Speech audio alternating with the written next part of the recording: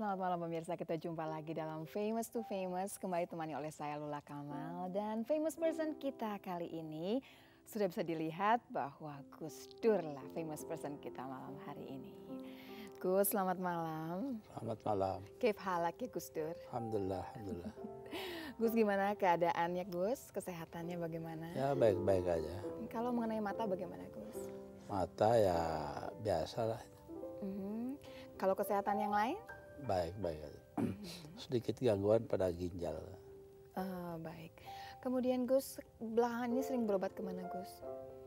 Ya di saya biasanya di anu, Rumah Sakit Cipta Mangunkusumo Hmm, Karena itu saya belum pernah ketemu Gus Dur walaupun saya dokter, kayaknya belum pernah meriksa Gus Dur, Gus. Iya Saya di anu di apa ikut eh, diperiksa timnya Profesor Yusuf Misbah Hmm.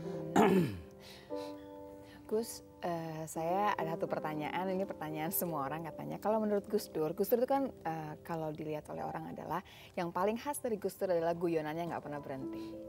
Kira-kira mana Gus yang lebih eh, baik? Orang sehat yang sakit apa orang sakit yang sehat? Nah, yang nggak baik itu yang sehat, yang nggak sehat dan yang sakit.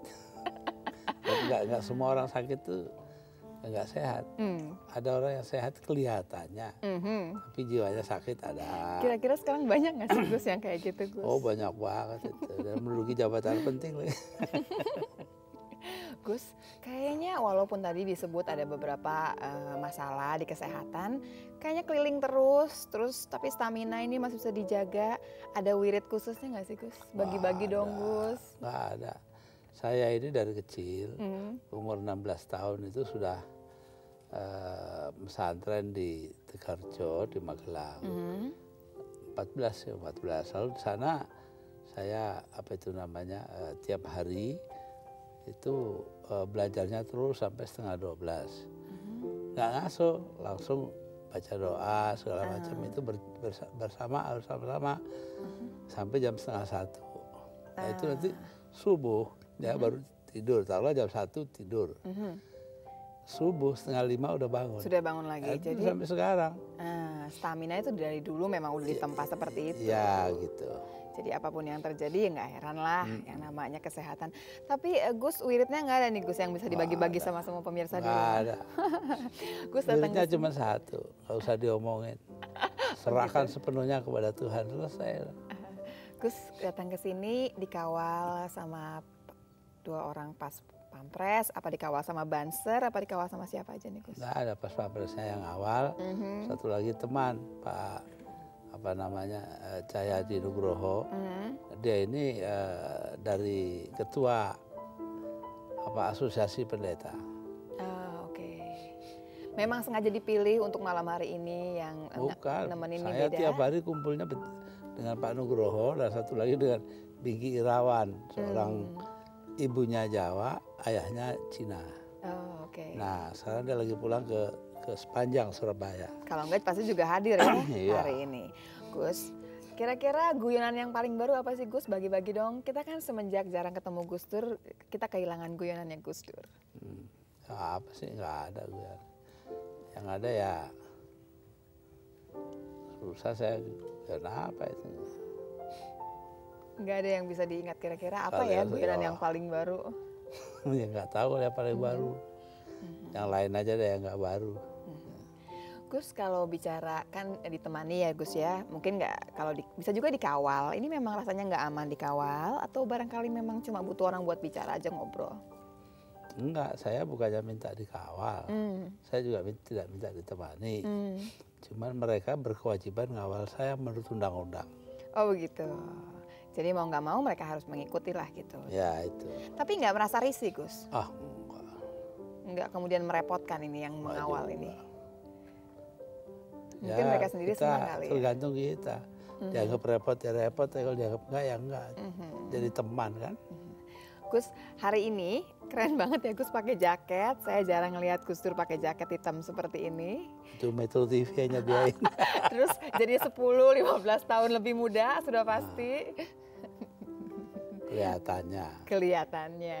Tapi aslinya juga memang kan deep down inside-nya Gus Dur itu adalah berjiwa muda dan tidak pernah hilang karena itu guyonannya juga emang nggak pernah hilang. Iya. Jadi presiden atau bukan presiden, apa pun ceritanya posisinya, selalu memang guyonannya itu khasnya, gitu ya Gus? Jadi di dalam sebuah buku tasawuf Iya. dikatakan itfin wujudaka fi ardil khumul kuburkan dirimu dalam bumi kekosongan. Maksudnya apa sih? Jangan ada pamrih. Nah, tugas saya pikirin jangan pamrih. Oke, jadi Jadi dibawanya lebih kaya, nggak pengen kuasa, nggak pengen ya, cuma tugas saya gitu. Nah dengan begitu kita nggak punya nggak punya beban apa-apa. Hmm. Dan juga nggak bakalan kecewa dong pasti Gus Dur ya, Iya. karena nggak ada yang diharapkan terlalu besar.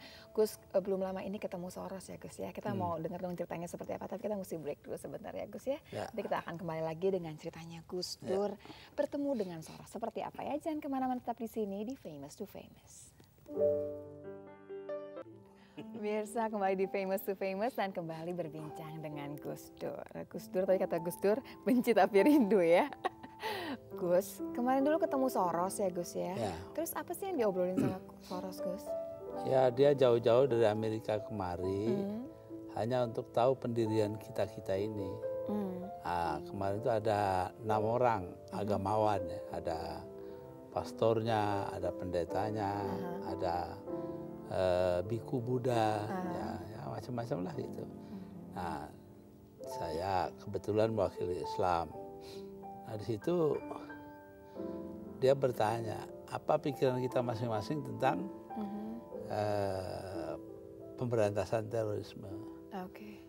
Akhirnya semua yang ketujuh-tujuhnya pendapatnya sama ya. Mhm. Dan sama dengan Soros juga. Jangan menggunakan kekerasan. Betul. Kenapa? Kalau alasan saya, Mhm. kalau menggunakan kekerasan itu kita jadi teroris juga dong. Karena terorisnya kan sembunyi. Nah lalu kita nembak orang atau nangkep orang salah tangkap, salah Iya, tembak. Nah, betul. jadi kita jadi teroris juga Apa dong. bedanya jadinya kita dengan mereka? Nah, itu Gus, kalau kenal Soros sudah lama Gus? belum dua kali ketemu. Mhm. Pertama ketika di Davos, ketika saya jadi presiden, Mhm. itu ada apa forum ekonomi dunia. Ya. Karena saya berbicara tentang bagaimana seorang dari eh, negara-negara berkembang Mhm. Memandang Iya. eh, apa ekonomi dunia saat ini. Hmm. Lalu kemarin itu ketemu. Oke, tapi kalau walaupun baru dua kali ketemu ya Gus ya, kalau Gus sendiri punya pandangan mengenai Soros seperti apa? Orang yang seperti apa sih? Ya Soros itu ya ma- namanya manusia sangat kompleks. deh. Hmm. Ada aspek-aspek yang kita cocok, ada yang enggak gitu loh. Ah, Jadi kalau menganggap orang semua cocok ya itu namanya bodoh. Saya umpamanya SBY, SBY itu saya ada yang cocok, ada yang enggak kan? Iya. Ya udah, gitu aja udah. hmm. Gus sempat dagel nggak sama Soros? Gus? Nah, enggak ada serius dia. Serius nggak sempet guyon ya? Enggak, dia dia dia eh, apa menyatakan juga bahwa di samping apa soal terorisme adalah bahwa dia ingin masukkan saya ke dalam CIG apa itu namanya eh, kelompok yang eh, me- menyelesaikan konflik di dalam. Oke, terus disambut oleh Gus. ya jadi dia bilang supaya saya ikut menyelesaikan Irak. Saya bilang loh sebelum you ngomongin saya udah dari dulu. Hmm. karena saya satu-satunya orang di dunia ini yang Mhm. mendukung Ayatullah Sistani. Ah, dia dulu teman saya. Mhm, teman saya ngaji bareng terus kita belajar bareng mhm. jadi karena itu ya dia percaya sama saya dan saya memang pada dasarnya seorang yang multikulturalis ya jadi gitu Aha. jadi saya dia orang Syiah bukan lu nggak bodoh amat lah. Dan atas dasar itu kemudian Soros mengajak Gus Dur ikut di forum itu. nggak tahu juga saya Oh, Oke. yang jelas pikirannya cocok gitu. Hmm, hmm. Gus, ada yang bilang, banyak yang bilang mengatakan kalau Gus Dur kalau lagi dagel itu lucunya pol. Nah, tapi malam ini belum keluar dagelnya. Oh ya, saya saya lupa yang paling baru ya, tapi ada Aha, dagelan mhm. tiga orang itu eh, dapat menyelamatkan diri dari sebuah kapal laut yang tenggelam. Ah, Nah, isinya lebih dari seribu. Karena apa? Karena berpegang pada eh, apa itu papan yang di seuntai papan, Iya. papan yang ditumpuk-tumpuk gitu. Nah, mereka naik eh, dengan susah payah naik ke atas tumpukan papan itu. Mhm. Nah kemudian datang eh, apa itu botol. Iya. Begitu dibuka keluar jinnya besar. Yang buka orang Inggris. Mhm. Kamu mau apa? Saya kasih satu orang satu permintaan. Aha. Kamu Inggris apa? Saya lahir di London, sekolah di London, Ah. besar di London, istri saya dari London, teman-teman di London, anak-anak di London. Tolong kembalikan saya ke sana. Pst, hilang. Satu lagi, saya orang Paris lahirnya, sekolah Paris ini, semuanya Paris. Aha. Tolong kembalikan, hilang.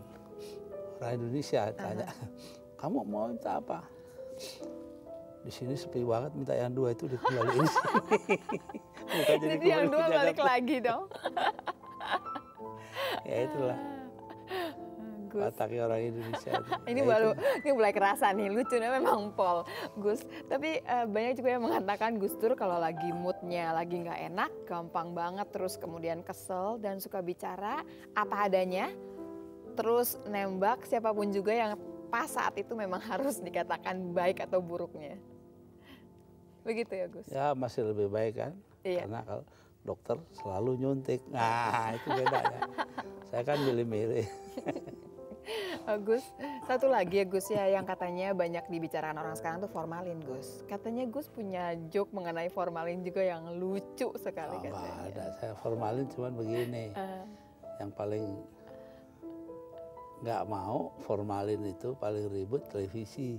hmm, Kenapa? Karena aha, apa namanya kru televisi segala macam ini paling takut kalau ditonton ha- hantu. aha, Nah aha. biasanya Hmm. formalin itu Mhm. untuk mengawetkan Mayat. mayat. jadi, jadi kalau gitu orang televisi ribut-ribut formalin kan supaya nggak ada yang makan. Gus, eh, kalau Gus Dur sendiri ketawa ngakaknya itu biasanya karena apa? Kalau kita kan sering nih, Gus Dur guyon kitanya ketawa senang. Kalau Gus Dur sendiri kalau Ya karena melihat yang lucu dalam kehidupan. seperti apa Gus? Wah banyak ceritain. Yang lucu pemerintah kita sekarang. Apa nih lucunya? Berani bilang ada demokrasi padahal enggak. Hmm, Demokrasi itu ukurannya kan apakah ada kedaulatan hukum. Nah kedaulatan hukum itu ada kalau uh, hukum berjalan. Lah di Indonesia nggak dilaksanakan ya bagaimana berjalan. Ya, jadi karena itu ya lucu kan. Kalau yang membuat Gus Dur sedih itu apa Gus? Yang buat saya sedih Hmm, kalau diceritain hmm, prospek-prospek yang tidak menggembirakan. hmm, Contohnya hmm. ada yang bilang oh tanggal sekian akan ada banjir. Nah itu ada yang mati kan. Nah, sedih banget saya. Hmm, Walaupun belum tentu kejadian begitu ya Gus. Oh pada umumnya akurat. Hmm, baik. Jember kemarin itu Mhm. dua hari sebelum kejadian saya udah dikasih tahu. Siapa nih yang memberitahu Gus? Ada dah. Ada yang membisiki ya Gus ya? Ya orang tua-tua itu. Hmm. Gus, kalau dalam keadaan dibisiki sudah tahu dua hari kemudian akan ada sesuatu yang bikin sedih, kan gundah ya Gus ya? Itu biasanya Gus Dur eh, berbuat apa supaya menghilangkan gundah Tahu hati? bagaimana?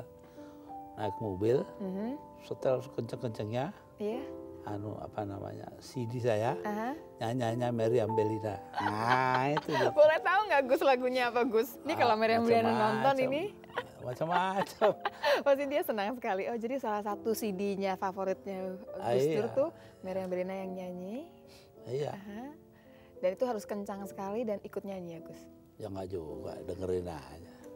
Dan biasanya selesai muter-muter itu terus tenang ya Gus ya? Ya pulang tenang. Hmm. Supir saya aja yang Yang kemudian jadi tidak tenang ya Gus? Nggak tahu lah, sebodoh amat. Gus kalau sama Ibu Sinta, kalau lagi gundah gitu apa ngobrol juga sama Ibu Sinta? Ya, ya nggak juga, ya ngobrol-ngobrol biasa ya. Jadi nggak ada nggak ada perbedaan waktu. Hmm. Eh, satu lagi kalau sama anak-anak Gus, dekat sekali tidak Gus? Dekat dalam arti semua yang jadi perhatian, Mhm. keprihatinan mereka saya ikut merasakan. Eh, Tapi kalau kumpulnya fisik Enggak, masing-masing ada kegiatannya kan. Karena sudah sama-sama pada besar-besar dan punya kegiatan sendiri. Biasanya kalau udah punya joke baru, yang biasanya kebagian mendengar lebih dulu tuh siapa Gus? Wah ada ya, orang nemunya di jalan. Jadi ya siapa yang bareng aja waktu Ya, itu ya iya. Gus ya. Mhm. Kalau menurut Gus Dur sendiri siapa yang paling lucu, yang paling bikin sering Gus Dur ngakak, yang paling kocak? Ini benar-benar ketawa ya Gus ya. Ya Asmuni, Asmuni. Sri Mulat. Kalau yang Karena em, dia itu hidup hmm, dan apa ya istilah saya itu merespons kenyataan. mhm, Contohnya tuh suatu ketika aha, dia main dengan Tarsan. ya. Dia ngomong dulu, nah, Tarsan datang, Pak Asmuni kenalkan ini Indri sama Yayu. mhm. Jawabnya, udah tahu orang tadi satu mobil ke sininya. ya kayak begitu itu kan. Tapi berarti sekarang agak kehilangan dong ya Gus kan jarang kita ketemu Asmuni Ya lagi. memang. Bisa sering mampir di warungnya di apa itu namanya di Trawulan. Mhm. Dan ketemu sama Asmuni dan dengar lagi ya leluconnya Asmuni. Baik Gus, kita akan break lagi sejenak. Nanti kita akan cerita lebih Ya. jauh mengenai ke depan ini seperti apa ya. Ya. Apa yang kemudian direncanakan oleh seorang Gus Dur. Jangan ke mana-mana, tetap di sini di Famous to Famous.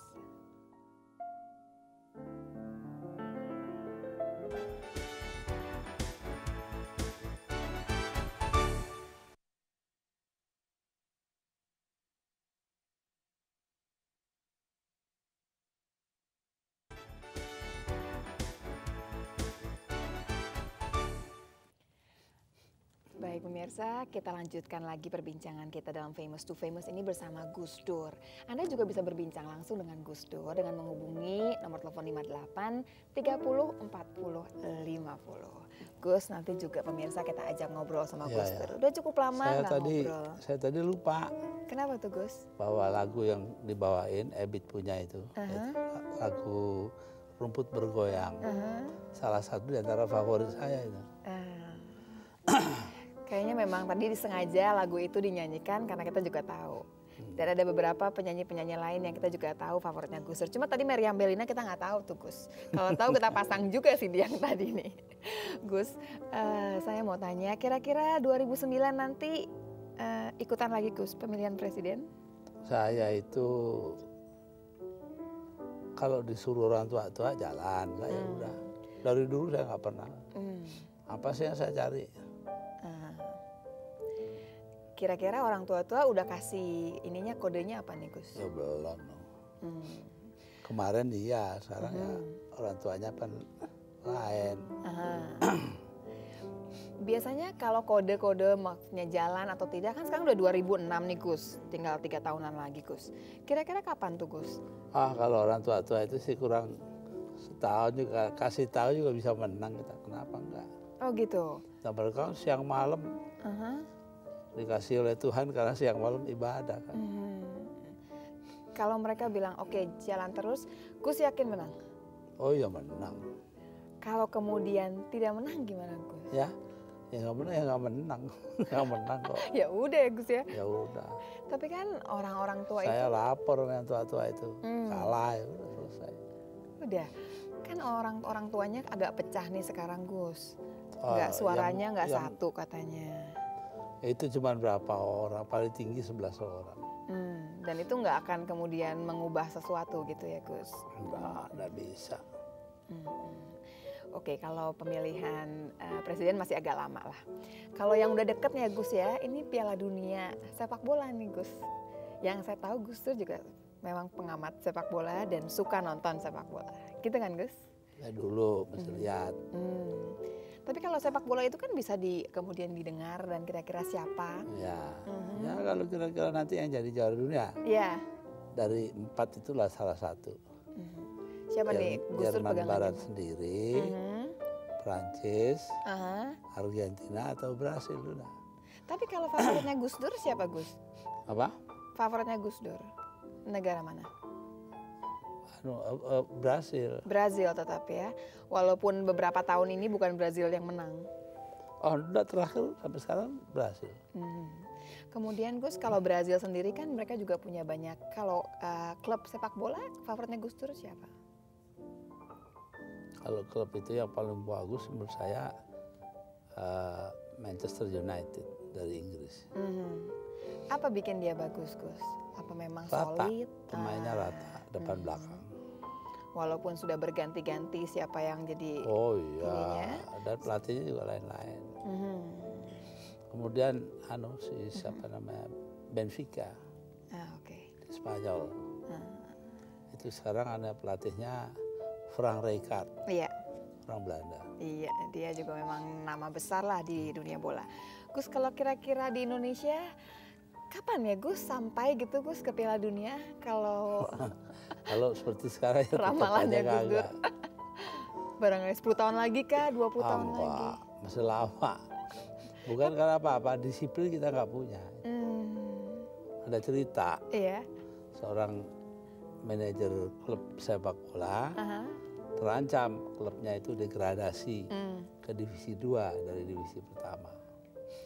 Jadi karena takut dia bawa apa dukun. Dukunnya nggak mau masuk di stadion. Jadi di luar minta diambilin baskom berisi air Aha. penuh lima lima akhirnya seri kan. Nah, jadi anu didegradasi karena mesti menang kok. Iya. Jadi manajernya keluar lomba, mau masa kita dikasih seri jadi masuk generasi apa degradasi kelas 2 divisi 2 Enggak, pasti sampai menang kok. Saya udah ngatur supaya dapat 10 10. Enggak itu 55, dapat 10 0. Iya. 55. Bagaimana kok bisa begitu? Aha. Nah, katanya orangnya ya manajer itu ya mula-mula cuma kita 5-0 ma- masuk Iya. tapi setelah pindah tempat kita Oh. kemasukan 5 jadi 55 kata dukunnya oh pakai pindah tempat Jadi dukunnya belum di ya.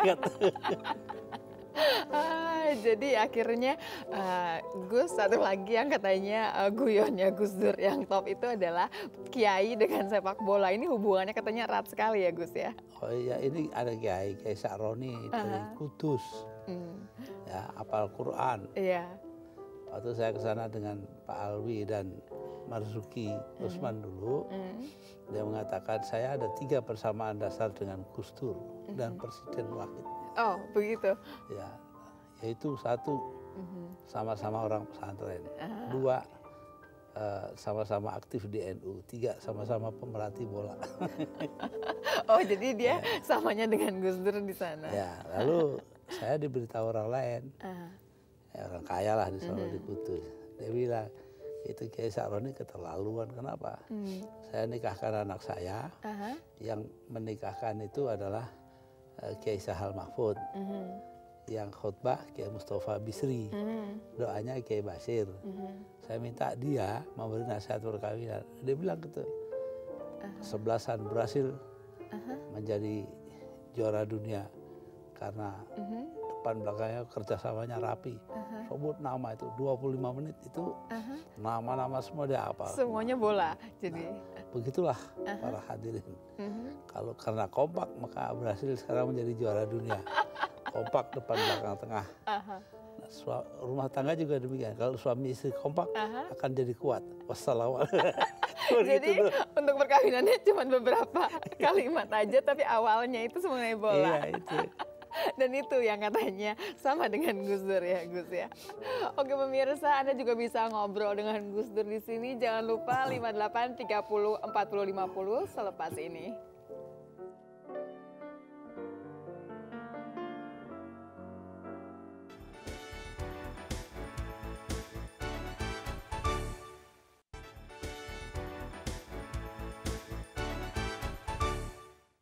Ya pemirsa, ini saatnya Anda bisa langsung ngobrol dengan Gus Dur. Halo, selamat malam.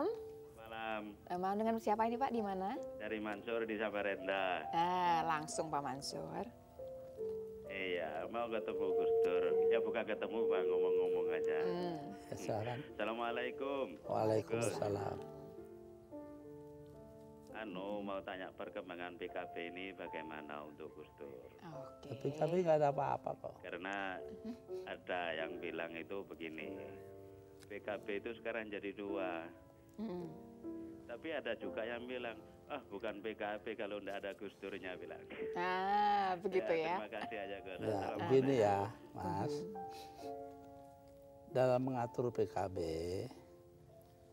saya selalu berpedoman pada dua hal. Satu, kalau urusannya silaturahimi, maaf memaafkan begitu itu kapan saja tanpa PKB pun bisa. Saya lakukan hal itu sudah. Lalu yang yang apa ya namanya yang uh, sifatnya penempatan, penempatan tenaga orang dan sebagainya itu ya lihat dulu dong jujur gaknya, hmm. cakap tidaknya, okay. pantas tidaknya dan seterusnya banyak itu pertimbangannya. Hmm. Ya jadi di situ. Nah sekarang ini atas dasar itu maka ya ya berarti baiknya sih baik tapi pemakaian jadi lain. Penempatan menjadi berbeda. Hmm, baik. Oke kita terima lagi yang lain. Halo selamat malam. Selamat malam. Nah, dengan bapak siapa pak? Di mana? Dengan Rizal ibu dari Bekasi bu. Oke langsung mas Rizal. Ya, ya. terima kasih. Selamat malam Pak Gus Dur selamat malam uh, semoga lekas sembuh Pak saya doain Pak amin uh, kesehatannya Pak ya, ya. Uh, saya ingin tanyakan Pak ada dua pertanyaan Pak. Yang pertama, kira-kira pandangan Pak Gus Dur mengenai Indonesia ke depan ini gimana sih Pak? Dari sisi mungkin Pak, ekonomi atau yang ya mungkin 2006 lah Pak ya. Hmm. Kita tahu BBM naik. Kedua hmm. mungkin secara personal saya ingin tanya, hmm. hobi Pak Gus Dur apa sih Pak? Hobi. Hobinya Pak. Oh, Oke okay, baik okay, ya. Terima kasih Mas Rizal ya. ya. Terima kasih. Assalamualaikum. Yang pertama, Indonesia ke depan itu haruslah menjadi Indonesia yang kuat, hmm. yang makmur, yang adil. Dan itu hanya dapat tercapai melalui demokrasi. Karena itu keharusan kita mendirikan demokrasi. Hmm. Nah demokrasi itu intinya adalah kedaulatan hukum. Kalau sekarang undang-undang aja nggak dijalani, ya bagaimana? Hmm. Itu satu. Jadi karena itu Indonesia ke depan haruslah demokratis. Nah, ada macam-macam persyaratannya bagi bagi kita untuk bisa maju, bersih dan sebagainya. Hmm. Tapi pada intinya itu haruslah hukum ini tegak. Gitu. Iya. Dan nggak main-main, hmm. nggak main-main. Ya, satu, dua, itu apa tadi? Hobinya Gus Dur apa? Oh hobi. Hmm hobi saya kaget ya jangan kaget tidur tidur yang banyak hmm. Kemang kalau tidur dapat apa memang Gus? Selain memang kemudian jadi istirahat dan kita jadi segar ya? tidur aja. Hmm. Sehari berapa jam Gus? Ya bolak-balik sih. Kalau udah tua ini bolak-balik. Hmm. Sekali tidur lima jam itu udah bagus. Hmm. Baik. Oke kita terima lagi yang lain. Halo selamat malam. Halo, selamat malam. malam. Iya, Bapak siapa di mana, Pak? Adi di Jakarta Timur. Iya, langsung, Pak. Ya, Assalamualaikum Gus Dur. Waalaikumsalam. Saya Adi, saya seorang tunanetra Gus. Oh iya. Uh, terus terang saya kecewa sekali ketika Gus Dur dilarang mencalonkan diri sebagai presiden dengan alasan kesehatan jasmani rohani. Hmm. Karena menurut saya ini uh, presiden buruk ya untuk uh, penyandang cacat di Indonesia. Hmm. Uh, ini nanti bisa dijadikan alasan untuk berbagai hal nantinya.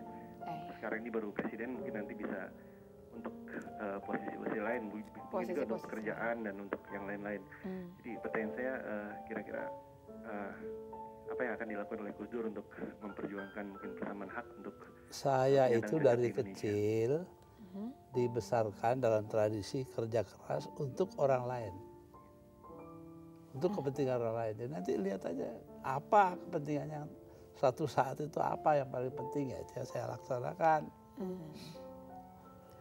Jadi saya sendiri itu nggak punya ambisi begini, ambisi begitu. Semuanya sudah tercapai mau apa? Hmm. Mau jadi ambisi jabatan tertinggi, saya udah jadi presiden. Hmm. Nggak usah mikir-mikir begitu. Tapi kalau itu memang sudah ditugaskan, ya apa ya. juga jalani. Kalau orang-orang tua nah, kemudian mengatakan. Jadi saya nggak karena kepentingan saya sendiri ya. Hmm. Dulu saya jadi presiden juga bukan kehendak saya.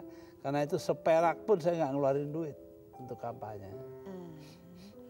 Baik, Gus. Kita terima lagi yang lain. Halo, selamat malam. Mbak Dula. Iya, akhirnya suara perempuan. Halo, selamat malam. Malam, selamat malam. Ibu dari mana, Bu? Dari Sari di Jakarta. Silakan. Iya, Assalamualaikum Pak Kiai. Waalaikumsalam. Saya uh, seorang pegawai negeri sipil di lingkungan instansi pemerintah ya Pak Kiai. Saya cuma mau ngucapin terima kasih. Uh, mungkin ini kita belum sempat ngucapin terima kasih sama uh, Pak Gus Dur ya selama Bapak jadi presiden. Baru kali ini Pak uh, pegawai negeri sipil tuh gajinya dinaikin uh, yang layak gitu loh Pak. Pada masa Gus Dur aja yang uh, gaji kita bisa layak. Baik. Uh, dinaikin. Begini Bu, Kapan lagi ya Pak ya? Lagi kita begini, dinaikin. begini ya. Dalam pandangan saya, kalau Indonesia mau bersih dari korupsi, Iya. pegawai negeri sipil, militer, dan kaum pensiunan harus dinaikkan pendapatannya 10 kali lipat sekarang Mhm. dalam tiga tahun. Nah, dengan demikian ini menimbulkan permintaan besar bagi ekonomi. Iya. Jadi kalau kita sampai di apa sampai nggak kekurangan, tambahnya ada 210 juta, bayangin Mhm. itu kemampuan berapa itu. Lalu terus eh, juga kita usahakan supaya pemberian kredit murah itu besar jumlahnya, jangan kecil-kecil seperti sekarang. Nah itu eh, kreditnya itu bunganya 5% setahun, itu masih tinggi. Mhm. Di Thailand hanya satu- seperempat persen setahun. Mhm. Nah itu, jadi jadi itu yang harus kita bikin banyak lah masih. Baik Gus. Halo selamat malam. Halo selamat malam. malam. Halo. Ya, selamat malam. Iya selamat malam Pak. Dengan siapa di mana Pak? Dokter Hakim Siregar di Batam. Silahkan Pak. Agak cepat ya Pak. Ya, Ya langsung Pak. ya. Eh, Assalamualaikum, Gus. Waalaikumsalam. Eh, saya sangat apresiasi sekali dengan Gus Dur. Eh, terang aja, salah satu favorit saya adalah Gus Dur. Alhamdulillah Gus Dur sehat. Yang menjadi pertanyaan saya sekarang, Gus, apa kira-kira langkah yang akan datang agar eh, ekonomi serta eh, kesejahteraan di negara kita ini dapat eh, berjalan dengan eh, apa Lebih yang baik tadi ya, Pak, ya? Sampaikan. Iya. Itu aja Gus. Baik, terima kasih. Eh, ekonomi asal pelaku pelakunya bersih, tidak korupsi, ya insya Allah lah ekonominya bisa bangun. Apalagi Indonesia, Mhm. nggak ada negara yang kekayaan alamnya seperti kita sumber alamnya itu besar sekali, lebih besar dari Amerika Serikat, dari RRT, dari yang lain-lain. Iya. Bahkan Jepang nggak punya apa-apa aja bisa gitu, coba. Tapi sekarang kuncinya korupsi itu ya Gus. Korupsi itu. Iya. Nah itu satu. Ya, Ekonomi kita menjadi ekonomi mahal gara-gara korupsi. Baik, Gus. Oke pemirsa, kita akan bicara lebih jauh lagi mengenai Gus Dur. Kali ini kita akan gali lebih jauh mengenai hobinya Gus Dur. Bukan tidur yang pasti, karena jangan ke mana-mana, tetap di sini di Famous to Famous.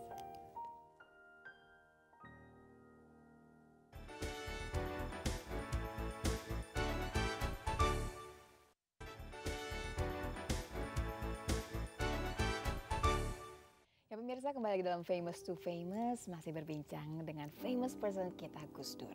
Gus, saat ini di studio itu ada seseorang yang dekat sekali dengan Gus Dur.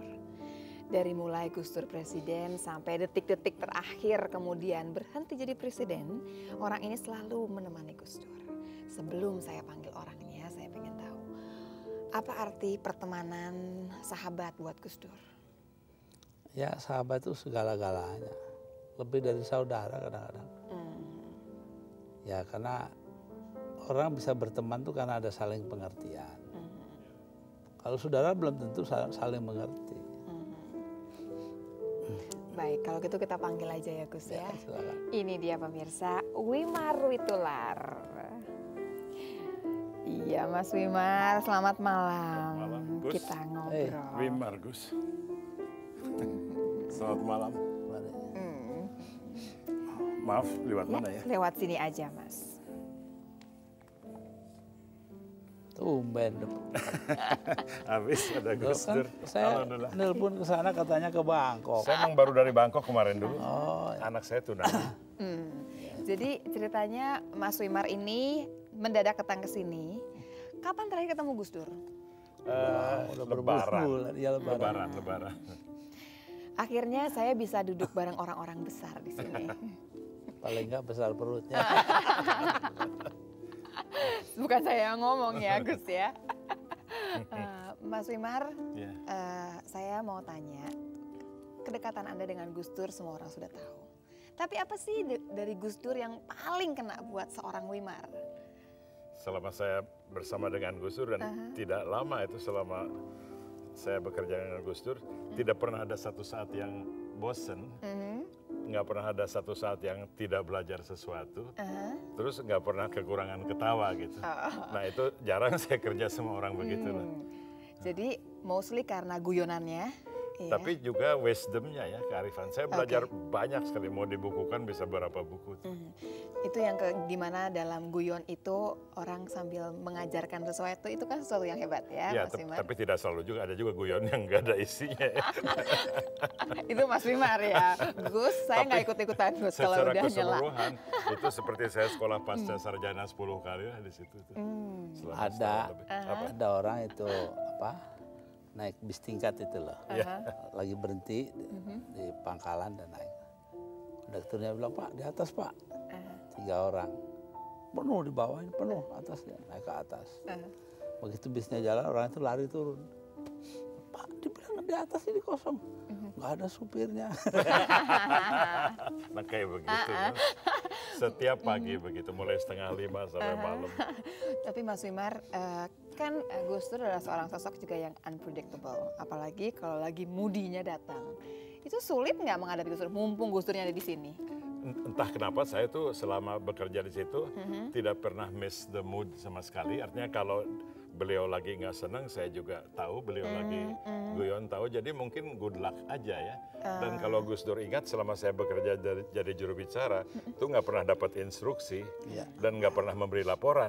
Tapi oke oke aja. Apa yang saya ngomong di luar selalu didukung gitu. Ah, Soalnya apa? Karena kepercayaan sebagai teman itu dijaga betul oleh Wimar. Gitu loh. Oke. Jadi nggak akanlah keluar cerita-cerita yang aneh dari Mas Wimar. Tapi Gus, waktu mau pilih Wimar Witular jadi eh, jubir waktu itu, itu prosesnya repot nggak sih Gus? Oh, Ini pakai fit dan proper test nggak ceritanya? Simple aja.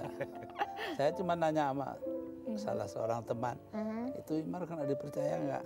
Iya iya ya udah selesai. Terus Mas Wimar ditelepon kaget nggak Mas? Saya sebenarnya dengarnya dari ya di telepon wartawan, Aha. diminta konfirmasi, Anda ditunjuk jadi juru bi- bicara presiden, betul nggak? Bang saya lagi tidur siang nih, jangan main-main gitu. ya. Ta- Tapi kemudian beberapa kali telepon, baru saya percaya. Saya cari nggak tahu caranya nelpon presiden bagaimana gitu.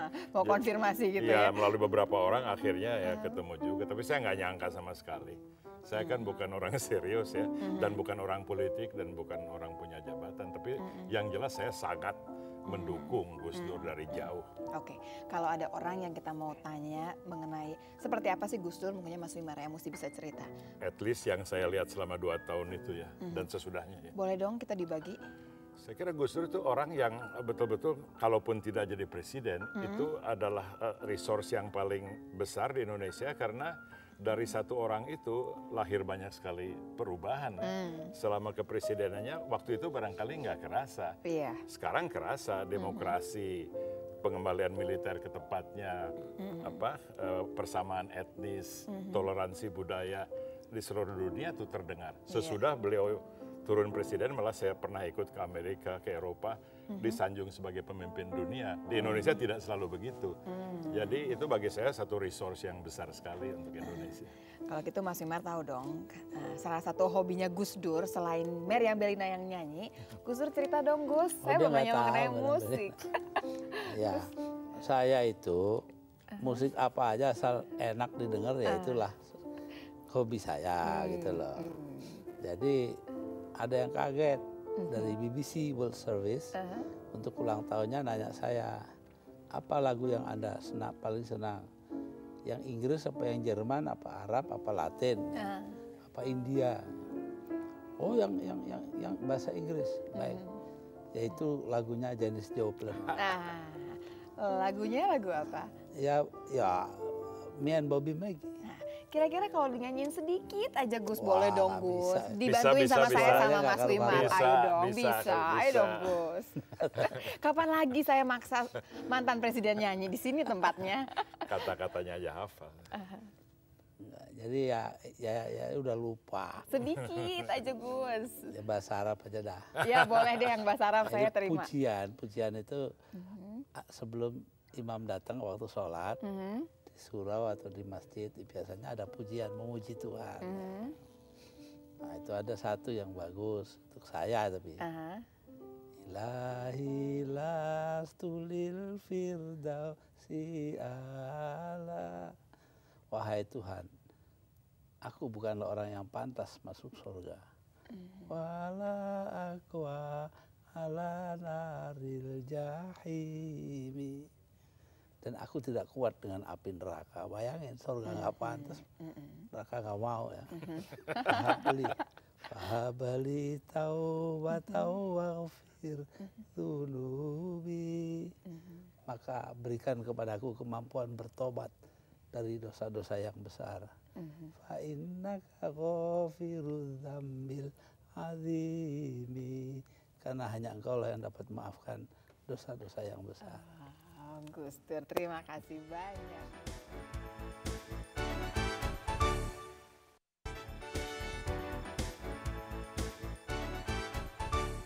Biasa kembali di Famous to Famous bersama Gus Dur, famous person kita dan ada Mas Wimar juga di sini sebagai sahabatnya Gus Dur. Gus, kita sudah di penghujung acara Gus. Satu lagi saya minta Gus, kira-kira eh, apa sih wejangan-wejangan lagi buat kita semua masyarakat Indonesia? Gampang aja itu. Be yourselves. Jadilah diri kalian sendiri. Udah jangan jadi orang lain. Saya selamanya jadi diri saya sendiri. Itu yang paling saya senangi pada Mas Wimar. Dia itu bukan orang lain. Dia Wimar Witular. Oke Dengan baik. segala kelemahan dan kelebihannya. Terima kasih. Ini satu pertanyaan lagi Gus, walaupun saya tidak boleh nanya lagi, tapi tetap saya ingin tanyakan. Kira-kira eh, dewan kita sekarang, ini pertanyaan nakal sebetulnya, sudah naik kelas belum Gus dari playgroup kemarin? Turun. Baik Gus, kalau- terima kasih banyak atas jawabannya. Mas Wima, terima kasih Terima sudah hadir di sini. Terima kasih banyak Gus Dur. Dan pemirsa, terima kasih banyak atas perhatian Anda. Sampai jumpa lagi di acara Famous to Famous. Saya Ula Kamal mohon pamit. Selamat malam. You never